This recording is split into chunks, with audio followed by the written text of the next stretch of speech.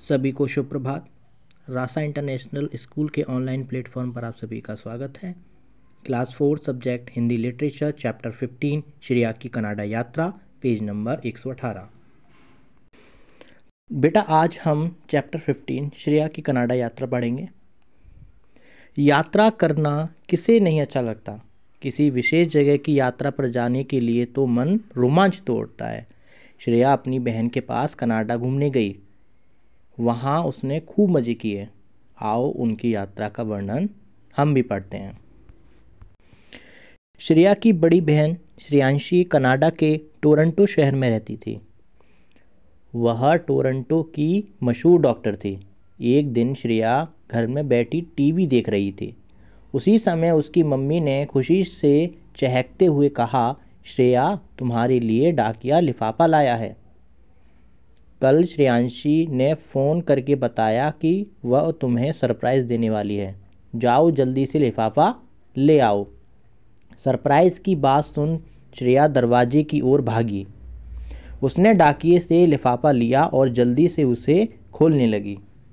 लिफाफे में कनाडा जाने के लिए टिकट थी। वह खुशी से झूम उठी। दीदी, तुम बहुत अच्छी हो।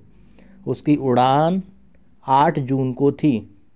अतः उसके पास तैयारी के लिए केवल तीन दिन थे। उसे कनाडा पहुँचने की जल्दी थी, इसलिए वह ज़ोर शोर से तैयारी में जुट गई। आठ जून को वह मम्मी पापा के साथ एयरपोर्ट गई और अपनी उड़ान की प्रतीक्षा करने लगी। हवाई जहाज़ के आते ही मम्मी ने कहा, श्रेया, कनाडा में दीदी को परेशान मत करना और अपना ध्यान रखना। ठीक है, मम्मी मैं ऐसा ही करूँगी, श्रिया कहकर हवाई जहाज़ की ओर बढ़ गई। वह हवाई जहाज़ में बैठ गई। कुछ ही देर बाद हवाई जहाज़ ने उड़ान भरी और वह आसमान में पहुँच गई। वह पहली बार हवाई जहाज़ में बैठी थी, इसलिए उसे थोड़ा डर लग रहा था। पर जल्दी ही उसका डर खत्म हो गया। रात्रि में उसका हवाई जहाज़ टोरंटो पहुँच गया। एयरपोर्ट से बाहर निकलते ही उसे श्रेयांशी दीदी दिखाई पड़ी। वह दौड़कर उनसे लिपट गई और बोली, दीदी, मैं कब से कनाडा आना चाहती थी, पर आपने मुझे देर से बुलाया, इसलिए मैं आपसे नाराज़ हूँ। नहीं श्रेया, कनाडा में बाहर से आए लोगों का रहना आसान नहीं होता। यहाँ काम करने के लिए मैंने बड़ी मुश्किल से वर्क परमिट पाया है। श्रेयांशी ने समझाते हुए कहा, दीदी की परेशानी जानकर श्रेया चुप हो गई। फिर दोनों कार में बैठकर घर आ गई। दोनों ने देर रात तक बातें की। श्रेयांशी ने श्रेया से कहा, श्रेया, रात काफ़ी हो गई है, अब हमें सो जाना चाहिए।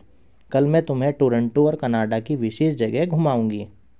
अगले दिन श्रेयांशी उसे टोरंटो घुमाने ले गई। सबसे पहले वे टोरंटो के मशहूर सी एन टावर पहुँची।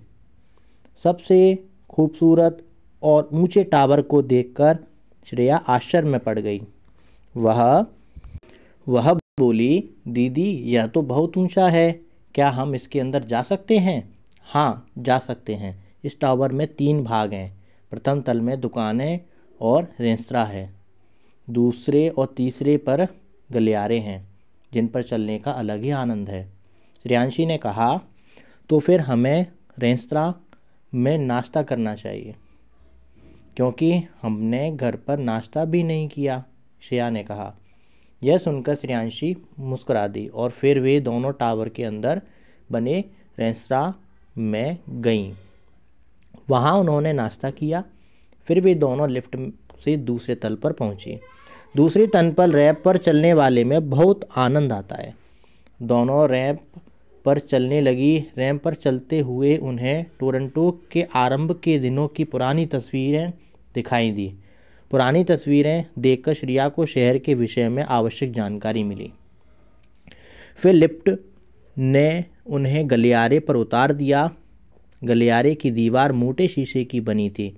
फर्श भी कांच से बना था। यह कांच टूट ना जाए, श्रिया चलते हुए बोली, डरो नहीं, यह बहुत मज़बूत है। इस कांच को विशेष धातुओं मिलाकर बनाया गया है। तुम कांच के उस पार देखकर टोरंटो शहर का आनंद ले लो। श्रेयांशी कहते हुए उसके सिर पर हाथ फेरा। यह सुन श्रेया का डर कुछ कम हुआ तो वह बाहर का नज़ारा देखने लगी। उसे दूर दूर तक शहर फैला हुआ नज़र आया। आसमान चूमती इमारतें, साफ़ चौड़ी सड़कें और उन पर दौड़ती रंग बिरंगी कारें। ऊंचाई से तितलियों की तरह लग रही थी। उसे छोटे से द्वीप पर बने हवाई अड्डे पर खड़े हवाई जहाज़ भी दिखाई दिए। सचमुच, सीएन टावर में टोरंटो शहर देखने में बहुत मज़ा आता है। मेरा तो वापस जाने का मन ही नहीं कर रहा है। श्रेया चहकते हुए बोली, सीएन टावर से निकलकर दोनों शहर की सड़कों पर पैदल घूमते हुए सैर करने लगी। तभी श्रेया ने कहा, दीदी, न जाने क्यों यह शहर चीन जैसा लग रहा है। तुमने ठीक पहचाना। टोरंटो का कुछ भाग चीनी सभ्यता का प्रतीक है। यहाँ चीनी लोगों द्वारा बनाया गया सामान चीनी आभूषण, वस्त्र और रेस्तरा है।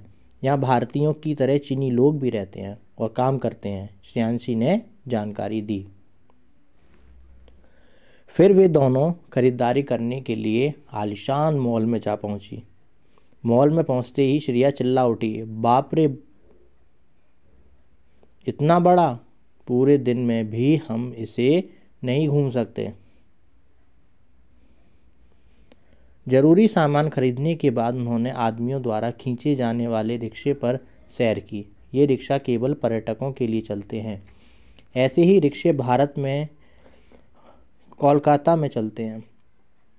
अंतर सिर्फ़ इतना है कि टोरंटो के रिक्शा चालक सड़क की ओर मुँह करके नहीं, बल्कि पीट करके रिक्शा चलाते हैं और शहर की जानकारी भी देते हैं। श्रेया को टोरंटो में बहुत मज़ा आ रहा था। श्रियांशी ने उसे विश्व का प्रसिद्ध नियाग्रा प्रपात दिखाने का फैसला किया। वह उसे लेकर रेलवे स्टेशन पहुँची और ट्रिपल डेकर में बैठकर चल पड़ी। चालीस मिनट बाद ट्रेन रुकी और दोनों स्टेशन से बाहर निकलकर एक होटल में जा पहुँची। नियाग्रा प्रपात यहाँ से सौ किलोमीटर दूर था। शाम के सात बज चुके थे, अतः उन्होंने होटल में ही रात बिताने का निर्णय किया। अगले दिन श्रेयांशी और श्रेया टैक्सी में बैठकर न्याग्रा प्रपात की ओर चल पड़ी। एक घंटे बाद एक बैरियर पर टैक्सी रुक गई और वे टैक्सी से उतरकर सरकारी बस में सवार हो गईं। यही बस उन्हें न्याग्रा प्रपात तक पहुँचाने वाली थी। न्याग्रा प्रपात पहुँचते ही श्रिया खुशी से झूमने लगी। वह चिल्लाई, वाह, इतना सुंदर! यह तो बहुत बड़ा है। हाँ मैं भी यह थक जाती हूँ तो छुट्टी लेकर यहीं आती हूँ। यहाँ मैं तरोताज़ा हो जाती हूँ। श्रेयांशी ने कहा, न्याग्रा प्रपात का पानी पचास फुट ऊपर से नीचे गिरता है तो पानी गिरने से धुंध का बादल उठता है, जो पर्यटकों का मन मोह लेता है। यहाँ झरने को पीछे से देखने के लिए कांच की सुरंग और यहाँ बड़े बड़े स्टीमर भी चलते हैं। श्रेयांशी ने स्टीमर के टिकट लिए तो उन्हें प्लास्टिक के कपड़े दे दिए, ताकि झरने के पानी से उनके कपड़े खराब ना हो। स्टीमर झरने के समीप पहुँचा तो श्रेया बोली, दीदी, झरने का पानी मेरे ऊपर आ रहा है, मैं बह तो नहीं जाऊँगी? नहीं, कुछ नहीं होगा। तो बिना डरे झरने का मज़ा लो, श्रेयांशी ने कहा। श्रेया को न्याग्रा प्रपात में बहुत मज़ा आया। उसने श्रेयांशी के साथ खूब मस्ती की। फिर वे स्टीमर से उतरकर ऊपर बने टावर में जा पहुँची। श्रेया दूरबीन से देखते हुए बोली, दीदी, मुझे न्याग्रा प्रपात के दूसरी ओर कुछ लोग चलते फिरते दिखाई दे रहे हैं। वह कौन सी जगह है? तुम दूरबीन से इस समय अमेरिका में झाँक रही हो। वे अमेरिकी हैं। न्याग्रा प्रपात कनाडा को अमेरिका से अलग करता है। श्रेयांशी ने बताया, पूरा दिन न्याग्रा प्रपात पर बिताने के बाद श्रेया और श्रेयांशी वापस टोरंटो लौट आईं। श्रेया अपनी दीदी के साथ पूरे पंद्रह दिन रहीं, फिर वह विदा लेकर मुंबई लौट आई। आज के लिए इतना ही बच्चों। आपका चैप्टर कंप्लीट हो गया है। धन्यवाद।